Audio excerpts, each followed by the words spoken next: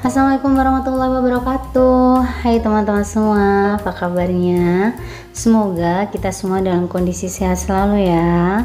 Selamat datang kembali di channel aku Channel Kiki Trisnawati. Ya teman-teman seperti judulnya Hari ini aku mau evaluasi budgeting aku di bulan Maret. Karena ini udah akhir bulan makanya ini waktunya aku untuk evaluasi budgeting karena nanti di awal bulan aku mau budgeting untuk bulan April untuk evaluasi budgeting ini yang pertama yang aku lakukan adalah aku mencocokkan atau menuliskan dulu nih pengeluaran aku selama satu bulan kemarin pada pos-pos living. Nah untuk yang pertama ini untuk kebutuhan listrik. Untuk kebutuhan listrik untuk bulan kemarin aku pakai 400.000 jadi uangnya masih ada sisa 100.000. Untuk pengeluaran yang kedua ini ada air aku realisasinya 60.000 jadi masih ada sisa 20.000 terus untuk wifi semua kepake.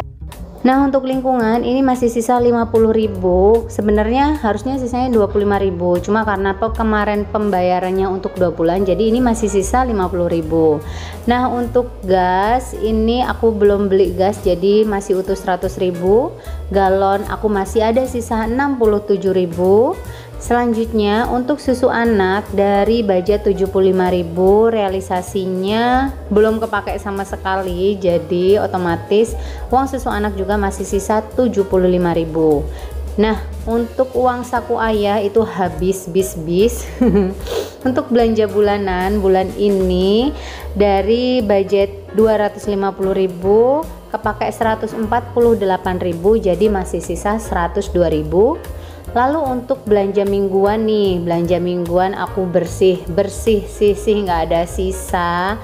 Hah, biasanya masih ada sisa lumayan dikit-dikit. Ya tapi ya nggak apa-apa lah ya. Untuk bensin motor dari budget 50.000 masih sisa 5.000 untuk bensin mobil juga habis dari budget 250.000 nggak ada sisa. Oh jadi ini aku total semuanya adalah 519.000 Wah alhamdulillah masih banyak ya teman-teman tapi nanti aku cocokin dulu nih realnya bener nggak di dompet pintar masih ada uang sisa 519.000 atau enggak nah kita buktikan dulu nah sekarang ini uangnya aku keluar-keluarin dulu dari dompet pintar sesuai dengan pos-posnya. Nah, di sini juga aku langsung cocok ini tadi yang aku tuliskan sama enggak sama yang ada di dompet pintar. Oh ya, tadi aku tuh nulisnya bisa lancar gitu karena aku udah punya catatan pengeluaran aku setiap bulannya. Karena mau kalau mau aku bahas di sini nih catatan pengeluaran aku pasti banyak banget ya teman-teman. Jadinya nggak aku tampilin, aku cuma tuliskan aja sisanya berapa, realisasinya berapa gitu ya teman-teman. Oh ya catatan pengeluaran itu aku tulis secara detail setiap harinya ya teman-teman. Mau aku beli tempe mau anak aku beli jajan 1000 2000 itu tetap aku tulis. Karena aku mau ngukur nih di mana sih sebenarnya uh, uang aku itu keluarnya gitu di mana sih borosnya aku dan rumah tangga aku gitu Oh ya ini aku sambil keluar-keluarin uangnya dari dompet pintar dan sambil aku cocokin di catatan aku Aku mau jeda dulu videonya ya. Selagi aku jeda video evaluasi budgetingnya Ini aku mau buka paket dulu dari Scarlett Ternyata ini aku dapat serum terbaru dari Scarlett yang kemarin sempat di launching ketika tim Scarlett berada di Paris, yaitu Niacinamide Serum dan Skin Smoothing Retinol Serum. Ya apalagi sekarang ini semakin ke sini usia aku kan semakin bertambah ya teman-teman. Jadi masalah kulit aku pun semakin kompleks Semakin apa ya aku rasa kulit aku tuh semakin kering gitu loh teman-teman. Jadi menurut aku ini adalah serum yang tepat untuk aku gunakan dengan usia aku sekarang Dua serum ini tuh memiliki power yang luar biasa untuk kinerja kulit kita. Nah, yang pertama ini yang aku mau bahas adalah niacinamide serum. Niacinamide serum ini mengandung niacinamide 5%, beta glucan, 7 phyto extract, Tegocosmo C100 dan Alantoin. Dan di mana fakta untuk niacinamide serum ini adalah berfungsi untuk mencerahkan kulit dan memperkuat skin barrier kita. Wah, masya Allah ya teman-teman fungsinya. Nah, kalau yang kedua ini adalah Skin Smoothing Retinol Serum di mana mengandung encapsulated retinol, pomegranate extract, hexapeptide A, allantoin dan vitamin C. Dan faktanya untuk retinol serum ini tuh berfungsi untuk membantu mencegah penuaan dini apalagi zaman sekarang kita udah jarang banget kan ngontrol makanan kita dan sinar UV yang nggak bisa dihindari. So menurut aku retinol serum ini tuh cocok banget untuk kita ya para ibu-ibu muda.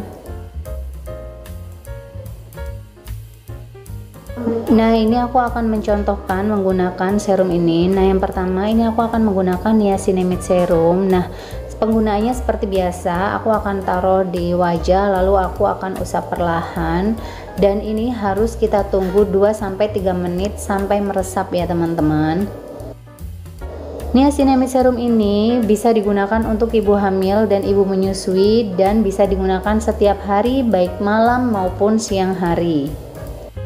Nah, untuk niacinamide serum ini juga kita bisa gunakan bersama dengan serum-serum dari Scarlett yang lainnya.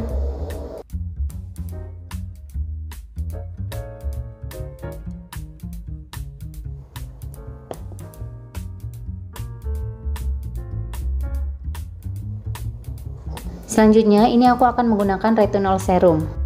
Oh ya ini tadi sebelum aku menggunakan retinol serum kan aku menggunakan niacinamide serum ya. Tapi ini aku jeda waktunya lumayan agak banyak ya teman-teman karena memang nggak bisa langsung digunakan bersama. Retinol serum ini juga digunakan hanya untuk malam hari. Kalau teman-teman siang harinya mau keluar teman-teman harus menggunakan serum ya.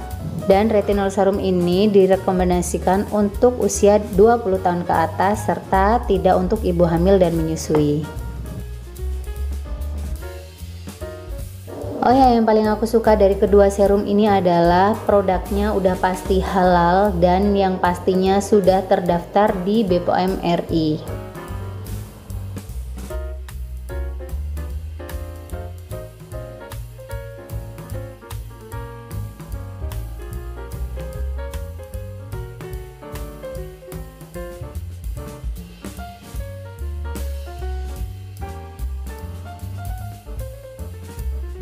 Oh ya, ini aku lanjutin video aku. Tadi setelah aku bercantik-cantik ria dengan produk terbaru Scarlett yang kemarin di launching di Paris. Wah, masya Allah ya teman-teman.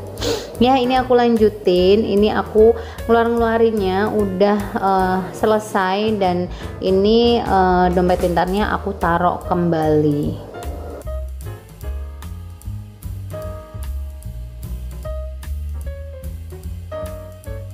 Setelah aku keluar-keluarin duitnya ini waktunya aku hitung dan aku cocokin sama nggak nih sama di penjumlahan di buku tadi yang aku tuliskan. Mudah-mudahan sama ya teman-teman Teman-teman happy banget nggak sih kalau ada uang sisa dari hasil evaluasi kita gini atau ya sisa dari uang-uang belanjaan gitu.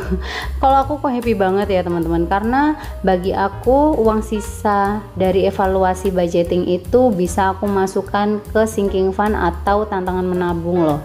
Ya walaupun sedikit kalau dikumpulin nanti lama-lama jadi bukit kan. Nah, kalau aku ini uangnya mau aku masukin ke tantangan menabung. Kalau yang pertama, ini mau aku masukin ke tantangan menabung tahunan aku di mana tantangan menabung tahunan aku ini aku targetin 10 juta di tahun ini.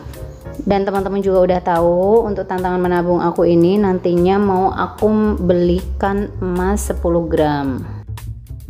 Nah ini tadi benar ya teman-teman. Total uang yang aku hitung uh, realisasinya itu benar ada 519.000 Nah ini tadi karena ada beberapa uang rada-rada receh nanti kalau dimasukin ke apa itu namanya celengan itu agak susah. Maka ini aku tukerin dulu dari uang THR jadi biar 50.000 semua. Nah ini uang yang aku masukin ke tantangan menabung 10 juta dalam satu tahun ini aku masukin sebesar 500 ribu aja. Karena di trackernya itu aku cuma ada pecahan 300 ribu 200 ribu 100 ribu dan 50 ribu. Jadinya ini mau aku uh, coret di trackernya yang 300 ribu dan 200 ribu